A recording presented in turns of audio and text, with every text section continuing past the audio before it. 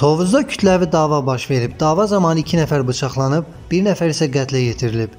Unikalorg saytı xəbər verir ki, hadisə rayonun aşağı Quşçu kəndində yerləşən Komfort çay evində qeydə alınıb.